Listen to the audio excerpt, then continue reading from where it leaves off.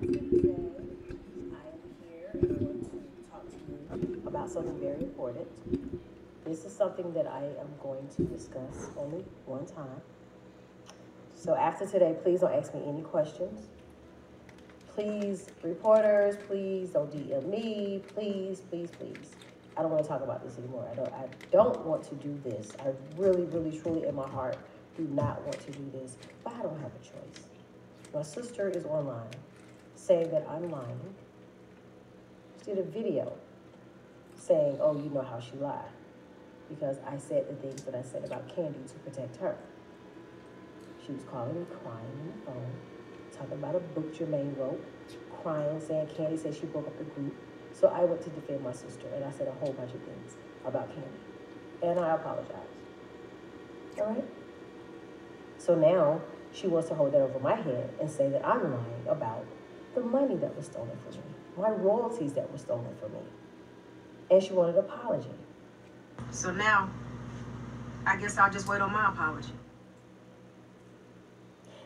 Let me tell you something.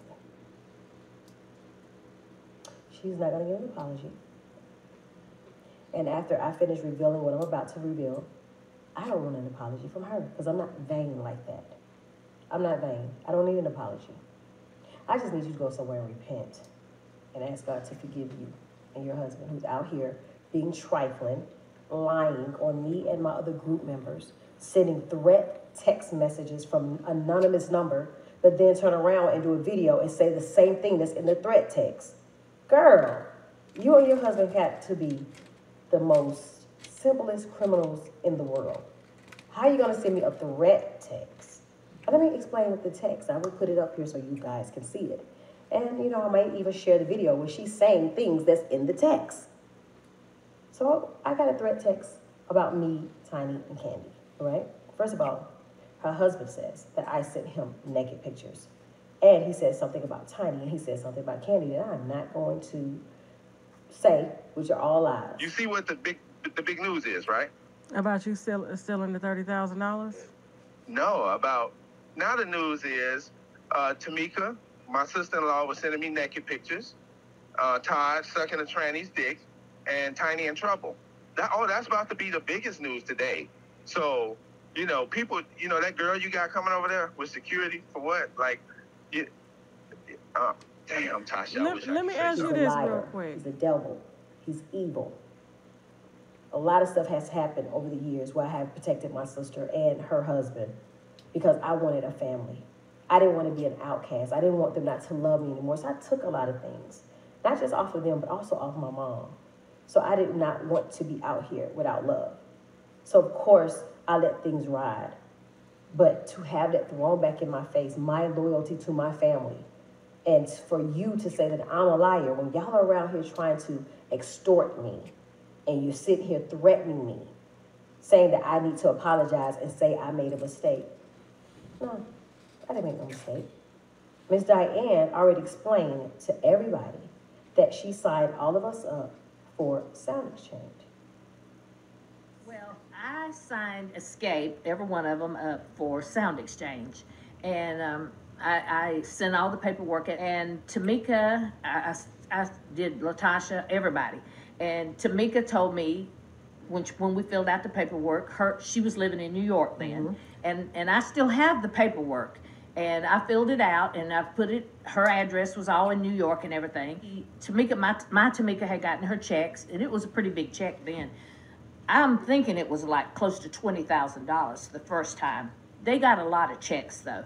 And Tamika said, I didn't get my checks. And I said, Well, you should have. I said, because Tamika's gotten several checks already. And so we called up to Sound Exchange. Me and Tamika was on the line, and we talked to this guy's name was Joe Mo Grady. I think he's passed away, but back then he was the person we talked to. And he talked to Tamika, and she asked him questions about her checks, and he told her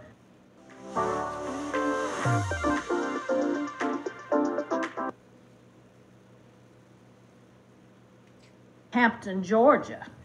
And so after that, she said, Well, I live in New York. How did this happen? And he sent her copies of the checks. I Yep, mean, yeah, he so I sent, he sent copies. he said something about your sister and Rocky, or Edward Bivens, because I really didn't know Rocky's name. Mm-hmm. Right, he said Edward Bivens cashing checks. But how was I supposed to get my money back? The only way you could get your money back is you had to prosecute him, and you said, I don't want to do that. Once we did do the investigation, well, they did, they sent information. Someone sent in, which was my sister, and I will be put showing that in a second. She changed the contract and put um, her name on the contract saying that she was my manager. And I, you're gonna see that in a second. And then they put my, uh, they sent my passport. It was a lot of I stuff. know he said, you know, that they, that they had proof, they thought it was you and everything, and, but there's only reason that, that you couldn't get your money back is you would have to prosecute them. no one has a reason to lie. And you're gonna see with the receipts. And if it wasn't for Miss Diane, none of us, me, Kandi, my sister, Tiny, nobody would have gotten these checks from Sound Exchange. If it wasn't for you finding out about that royalty, Well, we, my husband with the TAMS, I signed them up, and I- that's how I found out about it. And our business managers in New York told me about it. So that's kind of how I knew about Sound, Sound Exchange. thank you for for doing that because we've all we're still getting checks today. That's good. Get them checks. yes, love you. Thank I love Tasha still. I mean, I, I love her. I mean, and I, I would never lie on none of y'all. I know. I love y'all. I know. Y'all my babies. somehow my information was changed and sent to Sound Exchange. Now, when my sister was asked about Sound Exchange, she acted like she didn't know what I was talking about. So I'm not gonna do too much, but I will clear my name. I will show you a few pieces of evidence that shows how they went in and they changed my address to their address Wow. how they changed my email. Everything that Diane, Miss Diane did was changed by my sister, Latasha Scott. That will give you evidence. Now, the misconception is the thirty thousand. It wasn't one check. It was multiple checks. It wasn't just one. So, I was very nice. I was being very nice to say that only thirty thousand was stolen was stolen from me. I was very nice to say only thirty thousand was taken stolen from me. Rather. So, you want your apology? How about I give them proof what you did? Just a little bit, not a lot. I'm not trying to bury you. You just need to stop being out here say, saying these false things. You and your husband, these threats and everything else. Mm-mm. It's not going to work. Oh, yeah, one of the threats were that my tape, I have a sex tape that I did. Yes, when I was in my 20s, I did a sex tape. So, you know, I didn't want to take it back to my house, so I gave the tape to my sister and told her to hold it. So, you know, I can watch it every now and then. You know, I just got to be honest with you. I was, I was looking good on the tape. But uh, anyway, I gave it to my sister, so I went back to get it. She said someone stole it out of her safe. So I said, okay, well, who got the safe code? Who got the code to your safe? She said only her and her husband. But somebody stole my tape. Now I'm about to be blackmailed by them. If I don't apologize, they're gonna put the tape out. This is what the text says. So, you know what? You're not gonna scare me. You got my tape, but you said you didn't have my tape. Now all of a sudden you want to extort me and put the tape out, and you're doing a gospel album. Hmm. Let's talk about that. So, at the beginning of last year, my grandmother and my mom all were saying they wanted me and my sister to do a gospel album. So, the management at the time went and I sat down with her, and she said that Motown Records offered me and my sister a, a gospel deal, right? So, my sister came up to my house March of last year. Came up, spent the night, got snowed in, we were singing, we were cooking, having a good time. But it was a scratch in the record when I told her that we need to split everything down the middle. We need to write everything, we need to create everything together.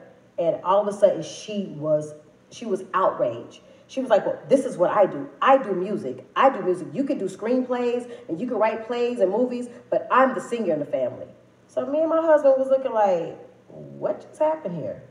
We're sitting here talking about a, a deal, a gospel deal, for us, and she just went bananas. I'm the singer. I'm this. I write. I do this. So in uh, between all that eyes, I was tired from cooking and cleaning. I fell asleep on her butt. But when I fell asleep, my husband said she kept talking. He walked out. She was just mad. So when she left my house, she never mentioned it again. Now she posted receipts on her thing saying that Rocky got us the deal. But if you look real, real close to the paperwork, like I did, I screenshot it and read it. It says, Dear, whatever the guy name was, she was asking questions. She said, she said, uh, what's his name? The manager, Rocky, and I. So the and I was not Rocky. It was the lady who sat down with us and told us who she got us the deal. Our old management. so how did Rocky get us the deal? I'm just so sick and tired of her praising him like he's God. It's like she want him to be this big. Okay, Tamika, stay focused. Stay focused. But he did not get us the deal. I'm sure he he was the one that talked her out of it, or both of them, because it's how you steal my money and steal our gospel deal. Damn. Oh, and it gets y'all, it gets better. Check this out. So I have people calling me, sending me. I'm in church. This is the crazy thing about it. I'm in church and I got a text, and somebody said, "What's going on with this?" So evidently, if you go on your cable network and you look up uh, a show, underneath the show will tell you who the actors are or who the people are that's on the show. Someone has went and replaced my pictures with my sister. So not only did you steal money and our gospel album that we told grandmama that we were going to do, but now, if you all go look, now me, my image is gone and is replaced with her pictures. Yeah, it's just a lot of crooked stuff that has happened. And it's some something about Todd, he said in the text. But it's crazy because things that were in that threat text, when my sister did her interview on her bus, dogging everybody out, talking about Kandi, talking about I lied, certain things that were in that threatened text was in what she said. Wow. They mentioned a tattoo that only she knew about. This They mentioned the sex tape that mysteriously disappeared. one on one. They mentioned pictures that was never sent to him when he cracked my door phone by saying he was my ex-husband. They are evil, evil people, but I'm not gonna allow you to keep sitting out here and giving false narrative about me. I've, I've had your back. I was stupid. I did things and you throw it in my face and you wanna do a video say, oh, you know how she is. I, I, I, own, I owned up to that. When I was wrong, I apologize. This time, I'm not wrong. The evidence is here. I just got my Thrive Market delivery and the convenience. Mm. Mm, mm, mm. She not lying. The girl is not lying. I'm not talking about this anymore after this. Now the world knows that you are a liar. You don't have to talk about it no doing a gospel album. A gospel album. Thief. Stealing from the church, stealing from your sister, stealing my identity. But what you won't do is steal my pride. Go ahead. Leak the tape that you said you lost. Go ahead. Embarrass your niece. Go ahead. Because you really don't care nothing about them because you would have never stole for them in the beginning. Go ahead. And watch what God does. God don't play about me. I don't hurt nobody. I don't do nothing. And the thing I did about Kandi, I was in my late 20s. We're almost 50 years old. And you still holding that over my head. But I'm glad that she forgave me. But I forgive you, as I did before. Never meant to mention it. I was just pushed in a corner because you tried to destroy me in that first scene. But hey, it's life. And like you said, we're sisters, but not by choice. Words are powerful. And I'm starting to listen. It's a difference between hearing and listening. And I'm listening. Well, I love you. But what you won't do is make me look like a liar. Uh-uh. Uh-uh. I don't blame you. I've grown from my mistakes. Time to stand up. And I've learned. Stand up. And I'm not letting nobody put nothing over my head of my past. Who do you, ma'am? Don't have to apologize to me. Go apologize to God. and apologize to my nephew and apologize to my children. God bless you, girl. Repent.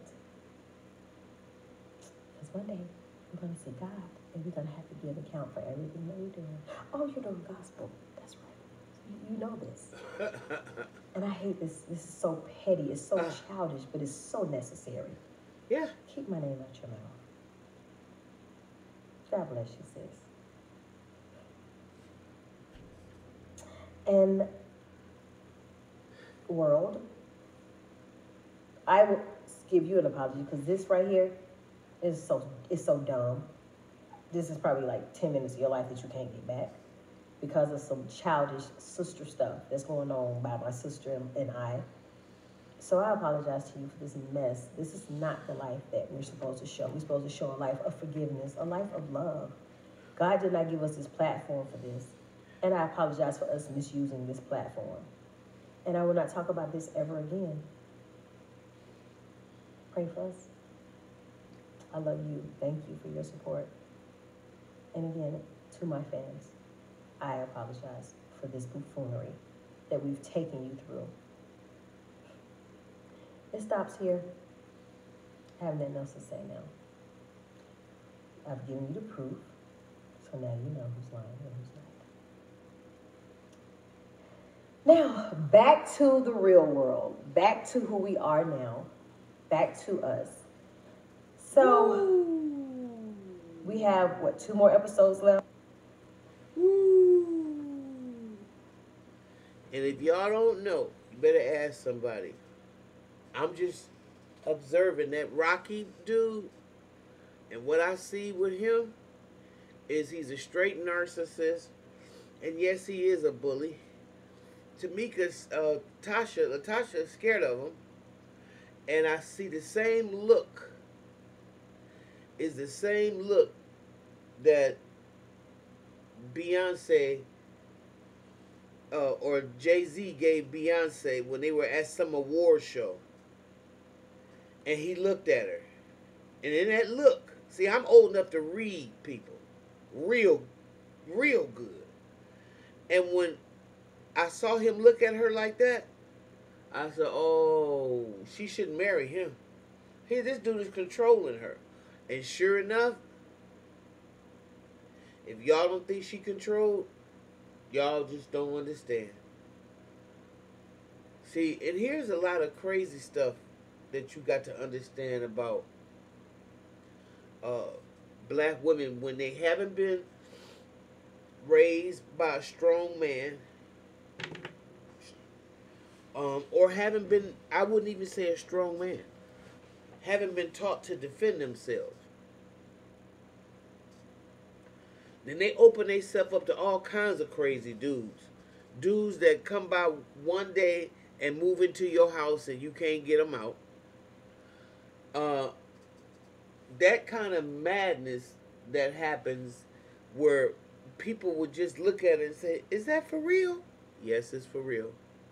There are some women who don't know how to say no, or the guy has already threatened them um, and used his physical power over her during one of these relationships. Actually, I feel sorry for Latasha because, you know, you got to be brainwashed if you would allow somebody to do that to your sister. And for y'all to take her money, not have any remorse about it, got the nerve to ask her for an apology after you know, you know they got the receipts. No, that's that's really sad and it's really pathetic. And I could say one thing. I saw you on Cocktails with Queens, but I wouldn't support you and with your album. And until you make it right with your sister, there's really nothing you can lead me to but to the slaughter of hypocrisy. And it's too much of that going on.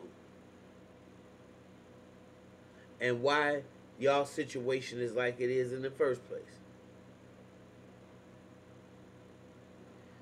Uh, so, you know, uh uh uh uh uh. Now YouTube gonna take a while to uh okay this video, and I know they are, uh because they go through so many changes and man, I make a video loaded up, it don't come out to two or three days later, so then at that point it's a little outdated. But nevertheless, I had to get this off my chest because I see so much of Tamika in in us. I see it. And the common thread is abuse. Ooh. All right. Like what you hear, subscribe and share.